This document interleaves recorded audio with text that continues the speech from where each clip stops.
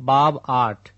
تھوڑے عرصے کے بعد یوں ہوا کہ وہ منادی کرتا اور خدا کی بادشاہی کی خوشخبری سناتا ہوا شہر شہر اور گاؤں گاؤں پھرنے لگا اور وہ بارہ اس کے ساتھ تھے اور بعض عورتیں جنہوں نے بری روحوں اور بیماریوں سے شفا پائی تھی یعنی مریم جو مگدلنی کہلاتی تھی، جس میں سے سات بدروہیں نکلی تھیں اور یوائنا ہیرودیس کے دیوان خوزہ کی بیوی اور سوسنا اور بہتیری اور عورتیں بھی تھیں جو اپنے مال سے ان کی خدمت کرتی تھیں۔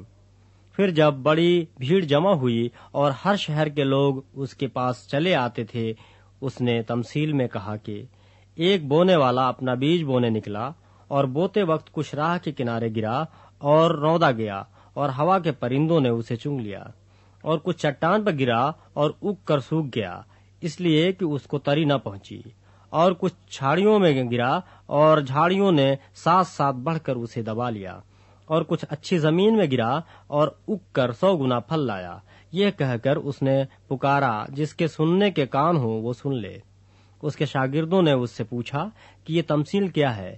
اس نے کہا، تم کو خدا کی بادشاہی کے بھیدوں کی سمجھ دی گئی ہے، مگر اوروں کو تمسیلوں میں سنایا جاتا ہے تاکہ دیکھتے ہوئے نہ دیکھیں اور سنتے ہوئے نہ سمجھیں۔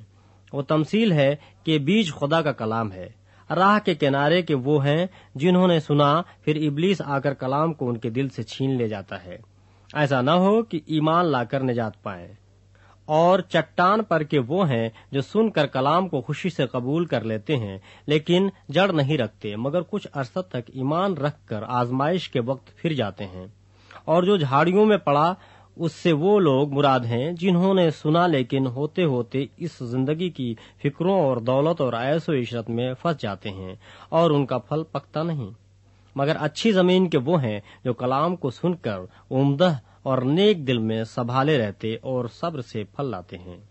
کوئی شخص چراغ جلا کر برتن سے نہیں چھپاتا، نہ پلنگ کے نیچے رکھتا ہے، بلکہ چراغدان پر رکھتا ہے تاکہ اندر آنے والوں کو روشنی دکھائی دے۔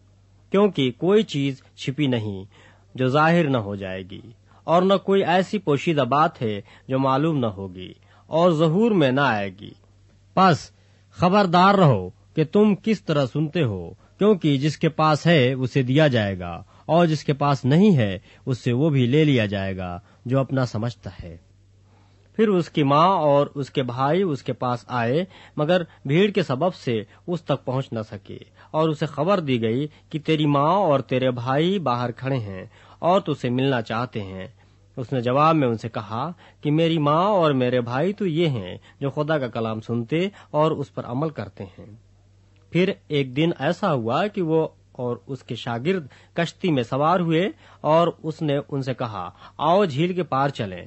بس وہ روانہ ہوئے، مگر جب کشتی چلی جاتی تھی تو وہ سو گیا اور جھیل پر بڑی آدھی آئی اور کشتی پانی سے بھری جاتی تھی اور وہ خطرہ میں تھے۔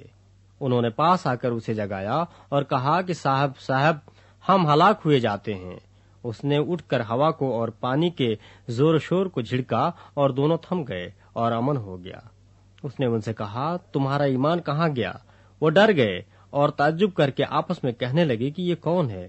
یہ تو ہوا اور پانی کو حکم دیتا ہے اور وہ اس کی مانتے ہیں۔ پھر وہ گراسینیوں کے علاقے میں جا پہنچے جو اس پار گلیل کے سامنے ہے۔ جب وہ کنارے پر اترا تو اس شہر کا ایک مرد اسے ملا جس میں بدروہیں تھیں اور اس نے بڑی مدت سے کپڑے نہ پہنے تھے۔ اور وہ گھر میں نہیں بلکہ قبروں میں رہا کرتا تھا۔ وہ یوسو کو دیکھ کر چلایا اور اس کے آگے گر کر بلند آواز سے کہنے لگا، اے یوسو خدا تعالی کے بیٹے، مجھے تو سے کیا کام؟ تیری منت کرتا ہوں کہ مجھے عذاب میں نہ ڈال۔ کیونکہ وہ اس ناپاک روح کو حکم دیتا تھا کہ اس آدمی میں سے نکل جا۔ اس لیے کہ اس نے اس کو اکثر پکڑا تھا اور ہر چند لوگ اسے جنزیروں اور بیڑیوں سے جکڑ کر قابو میں رکھتے تھے۔ تو بھی وہ جنزیروں کو توڑ ڈالتا تھا اور بدرو اس کو بیابانوں میں بھگائے پھرتی تھی۔ یسو نے اس سے پوچھا، تیرا کیا نام ہے؟ اس نے کہا، لشکر، کیونکہ اس میں بہت سی بدروہیں تھیں اور وہ اس کی منت کرنے لگی کہ ہمیں اتھا گڑھے میں جانے کا حکم نہ دے۔ وہاں پہاڑ پر سوروں کا ایک بڑا گول چل رہا تھا۔ انہوں نے اس کی منت کی کہ ہمیں ان کے اندر جانے دے۔ اس نے انہیں جانے دیا۔ اور بدروہیں اس آدمی میں سے نکل کر سوروں کے اندر گئیں اور گول کراڑے پر سے جھپٹ کر جھیل میں جا پڑا اور ڈوب مرا۔ یہ ماجرا دیکھ کر چرانے والے بھاگے اور جا کر شہر اور دیہات میں خبر دی۔ لوگ اس ماجرے کو دیکھنے کو نکلے اور یسو کے پاس آ کر اس آدمی کو جس میں سے بدروہیں نکلی تھیں، کپڑے پہنے اور ہوش میں یسو کے پاؤں کے پاس بیٹھے پایا اور ڈر گئے۔ اور دیکھنے والوں نے ان کو خبر دی کہ جس میں بدروہیں تھیں وہ کس طرح اچھا ہوا۔ اور گراسینیوں کے گرد نواح کے سب لوگوں نے اس سے درخواست کی کہ ہمارے پاس سے چلا جا، کیونکہ ان پر بڑی دہشت چھا گئی تھی۔ بس وہ کشتی میں بیٹھ کر واپس گیا۔ لیکن جس شخص میں سے بدروہیں نکل گئی تھیں، وہ اس کی منت کر کے کہنے لگا کہ مجھے اپنے ساتھ رہنے دے۔ مگر یسو نے اسے رخصت کر کے کہا، اپنے گھر کو لوٹ کر لوگوں سے بیان کر کہ خدا نے تیرے لیے کیسے بڑے کام کیے۔ وہ روانہ ہو کر تمام شہر میں چرچا کرنے لگا کہ یسو نے میرے لیے کیسے بڑے کام کیے۔ جب یسو واپس آ رہا تھا تو لوگ اس سے خوشی کے ساتھ ملے کیونکہ سب اس کی راہ تکتے تھے۔ اور دیکھو، یار نام ایک شخص جو عبادت خانہ کا سردار تھا آیا اور یسو کے قدموں پر گر کر اس سے منت کی کہ میرے گھر چل۔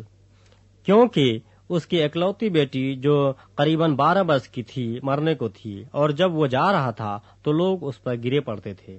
اور ایک عورت نے جس کے بارہ برس سے خون جاری تھا اور اپنا سارا مال حکیموں پر خرچ کر چکی تھی اور کسی کے ہاتھ سے اچھی نہ ہو سکی تھی۔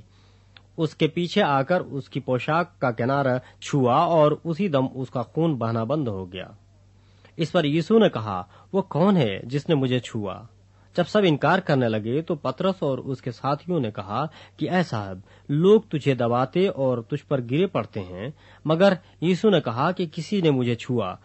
تو ہے کیونکہ میں نے معلوم کیا کہ قوت مجھ سے نکلی ہے۔ جب اس عورت نے دیکھا کہ میں چھپ نہیں سکتی تو کانپتی ہوئی آئی اور اس کے آگے گر کر سب لوگوں کے سامنے بیان کیا کہ میں نے کس سبب سے تجھے چھوا اور کس طرح اسی دم شفا پا گئی۔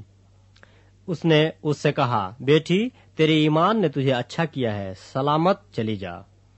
وہ یہ کہی رہا تھا کہ عبادت خانہ کے سردار کے ہاں سے کسی نے آ کر کہا کہ تیری بیٹی مر گئی، استاد کو تکلیف نہ دے۔